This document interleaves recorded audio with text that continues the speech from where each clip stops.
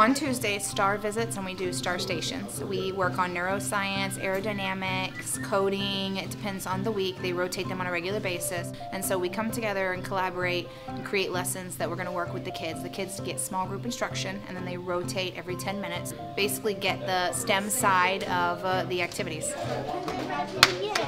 Awesome. Wait, I got both. Yeah, I know. I saw that. We really need to hit them on the foundation, so elementary school is where we need to start. To inspire them really as soon as possible to get them on the right track and to follow them with the educators and the parents tied in in the school system and space training adventure. It's a common effort to lead them right on track to the proper college that they need to be and then eventually to the companies hire them, thus the cradle to career.